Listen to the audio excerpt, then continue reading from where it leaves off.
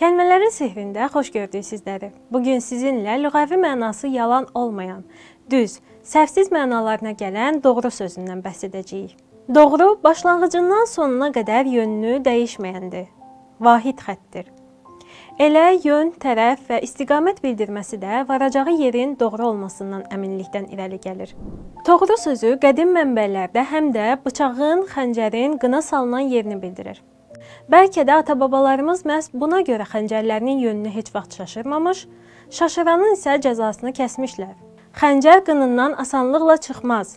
Çıxarsa belə yanlış hədəfi vurmazmış. Xəncər həm duracağı toğrunu, həm də hədəfləyəcəyi doğrunu yaxşı bilərmiş. Bəs həyat yolunun hədəfini doğru müəyyən etmək necə? Onu da doğruya doğru seçə bilirmi insan?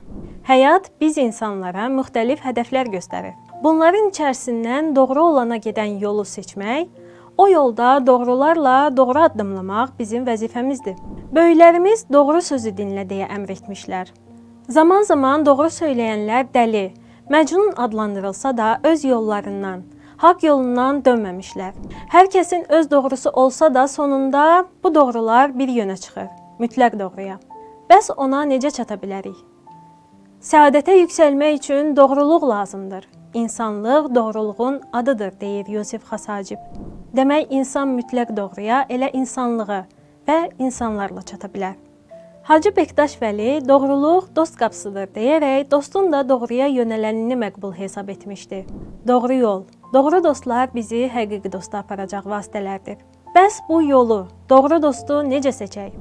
Bu zaman insanın dadına doğruya əzəldən bəri aşina olan qəlbi, ruhu özü çatır. Öz özdə olana bəllidir. Ona doğru yönəlməyə meyllidir. Doğrunun hər zaman həmdəmimiz olması diləyi ilə. Kəlmələrin sehrində qalın.